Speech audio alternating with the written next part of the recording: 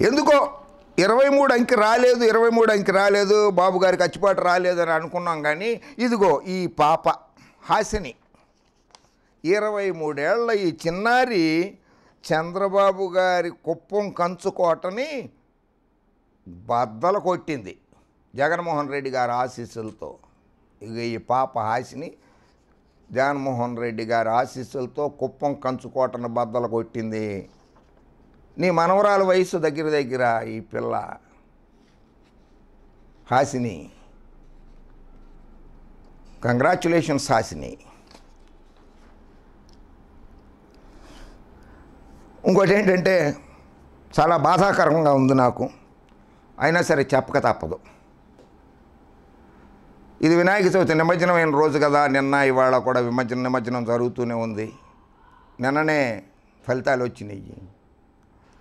చంద్రబాబు విఘ్నేశ్వర స్వామి వ్రతం చేసుకుంటే వినాయక చవితి పండగ చేసుకుని ఆ రోజునాడు చంద్రుణ్ణి చూస్తే అపవాదులు వస్తాయి అనేటువంటిది ఒక కథ ఉంది.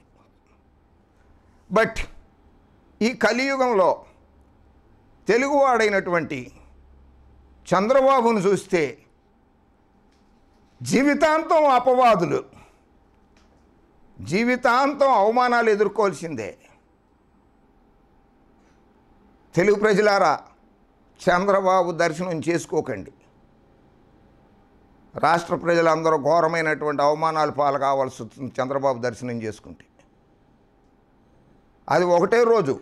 ఆ కథ విని అక్షంతలు తల్లుకుంటే కనీసం ఆ పాపాలన్నా పోతాయి. ఆ శాపం అన్నా పోతుంది. ఈ నరకాసురుడు లాంటి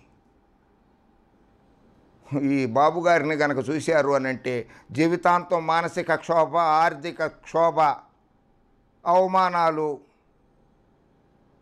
అప్రతిష్ట పాలవుతారు. ఆయన ఉమ్మడి ఆంధ్రప్రదేశ్లో పనిచేసినప్పుడు అసలు ఆయన ముఖ్యమంత్రిగా ఉన్నప్పుడు వరుణదేవుడు వరుణ దేవుడు కూడా రాలా. వానలు కూడా వచ్చేవి కాదు. వస్తే తిత్లీ తుఫాను అటువంటివి రెండు మూడు సార్లు వచ్చినాయి తప్పితే వర్షాలే లేవు. చెరువులు నిండిన దాఖలాలు లేవు. అంత అనావృష్టికి ఈ నికృష్ట రాజకీయ నాయకుడు బాబు గారు మూలపురుషుడు.